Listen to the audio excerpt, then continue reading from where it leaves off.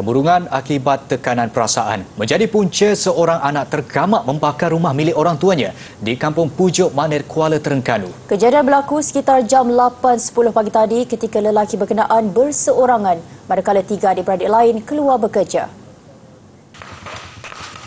Menurut kakak suspek, Raja Noraini Raja Salim, 51 tahun, dia menyedari perbuatan adiknya itu selepas mendengar letupan sebelum dimaklumkan jirannya Raja Noraini tinggal hanya 100 meter daripada kediaman orang tuanya, manakala ayahnya tinggal berasingan setelah berkahwin baharu. Suspek sebelum ini melakukan tiga kali percubaan membakar rumah mereka dan kali terakhir pada lima tahun lepas. Jadi sebelum ni pun penuh dah lah terjadi kebakaran ni banyak tempat dah. Sebelum ni. Maksud banyak tempat tu mana? Uh, bahasa tu pun dia pernah bakar baru dalam dua bulan kau. Ke sebulan lebih gitu. Dia bakar motosikal. Ha, lepas tu hak depan tu pun dia pernah bakar dah. Oh, so yang paling besar ni bakar ah, ni, ni, ni. Rumah ni berapa kali dah? Rumah ni dua kali dah kok.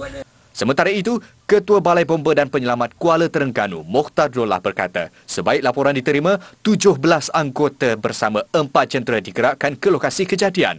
Ketika sampai di lokasi, api sedang marak membakar rumah dua tingkat separa kekal itu.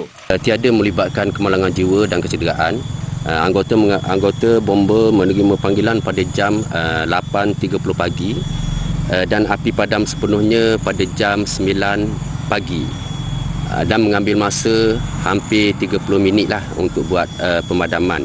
Punca sebenar kebakaran dan jumlah kerugian masih dalam siasatan.